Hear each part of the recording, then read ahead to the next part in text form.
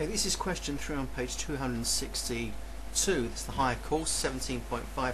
This is question 3. It's been fully sort of prepped in order to shorten the, the length of the video. What I've done is, um, to go to question 3, it says I've got to copy and complete this table um, for values of y equals 2x squared minus 7x plus 5. So essentially, um, plugging the values from 0 to 3 into where you see the x in the equation, calculate the y's. We've done this loads of times before.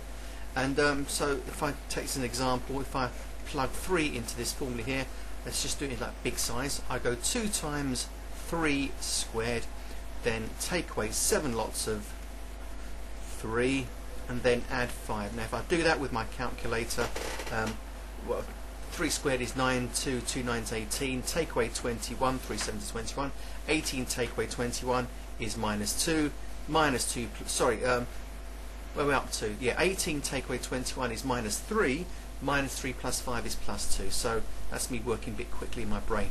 Remember, Unit 3, use your calculator. So what I've done is plugged in the value of x equals 3, and I've got the value of y equals 2 out, hence the coordinate 3, 2. And I've done this with, done this with all of them, and I did use a calculator just to speed things up. And um, part B says, draw the graph of y equals 2x squared minus 7x plus 5, and I've done that and here is the graph. I've plotted the points. It's a lovely U-shaped graph I like to call it. Got a classic uh, x squared shape quadratic graph shape. And then it says find the coordinates part C of the minimum point. In other words uh, what is the coordinate where the graph dips at its lowest possible point? Where does it trough out? Well right there I'm guessing. So what I'm going to do is run my eye along there and try and work out exactly what that point is well, I can see from my rough graph it's going to be 1.75 for the x part.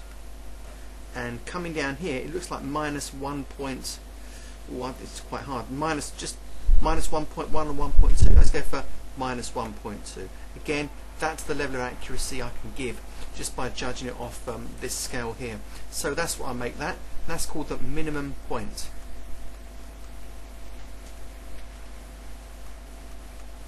Right, at the minimum point, the x value is 1.75. At the same minimum point, the y value is minus 1.20 or something like that. So that's that.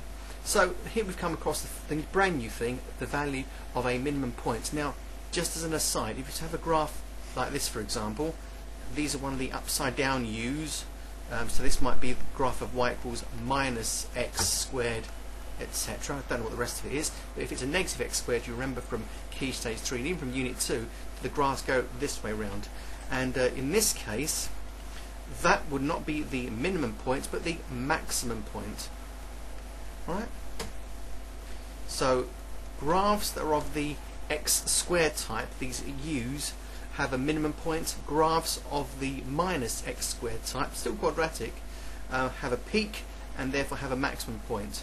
So that's as an aside. then it says D. What are the values of x when y equals 4? Well, when y equals 4, I've got to draw in the line y equals 4 first. We can see where it crosses. So if I put it across here like that, that's my line y equals 4. So I label it as such. Alright, so if I read down here and here, these are the two points of intersection with the line y equals 2x squared minus 7x plus 5. So therefore I have two solutions. If I read down again using this, so in an exam you can do this can't you? Show the examiner what your brain is doing, so you did that. Then again on this side show what, show what your brain's doing. Again this is pretty crude on here. Um, obviously all your graphs be ever so slightly different. It depends on how accurately you're drawing the U and there's plenty of tolerance allowed in this. It doesn't have to be absolutely perfect, it just has to be perfect enough. So now I must quote my two values. Um, do them in black so they stand out. So this one here, what's that value there? I make that approximately 0.1, 0.2. Uh, yeah, I make that 0.2. x equals 0.2. And this one here, just trying to read that carefully. Uh, right there, trying anyway.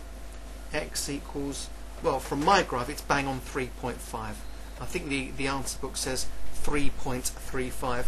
but that's how I did my U. I can, I can see I dropped this a little bit low relative to that point there, and for that reason this is sticking out too far to the right. So if this was more to the left, it might be, um, say here for example, where 3.4 would be, and that would be fine. But you know, relative to what I've just done, um, 3.5 is what I've made it, and 0.2 is what I made the other one. Please note there are two positive values where where the the um, the graph of 2x squared minus 5x minus 7x plus 5 intersects with line y equals 4 and that is question 3 done.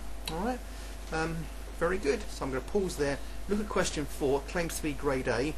Um, I can see where it is grade A actually. And uh, I'll come on to that real soon. Alright